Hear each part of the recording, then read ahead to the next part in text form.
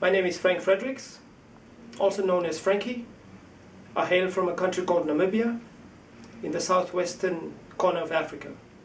I'm very honored to be part of the WADA Athletes Commission. We're spreading the message to make sure that the athletes understand that it is possible to be clean and to compete at the highest level.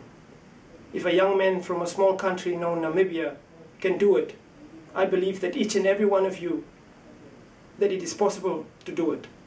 Believe in the message. Play true.